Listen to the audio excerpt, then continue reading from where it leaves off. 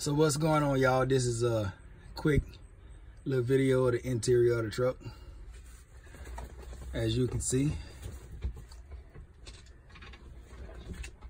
got the dashboard, uh, DVD navigation, satellite radio, uh, it go extra gauges, uh, I want to say six extra gauges like these right here. And then that's the E-logs, my CB.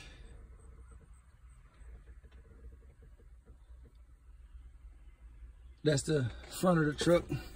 And then the back of the truck, you got my my two glasses up here. Behind this uh, microwave, I got another one. Top bunk.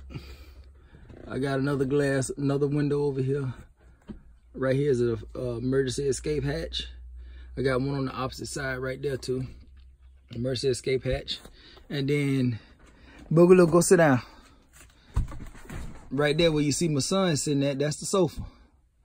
He's sitting on the sofa in the truck, which also folds out into a bed. Uh, it steps down, the back of it is carpet. Steps down. Got a big closet right here that I can hang some clothes in. A huge closet.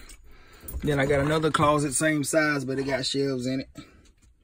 I can put my dirty clothes in that one. You know, I got food right there. I got some more food up in there. Got the little mini fridge.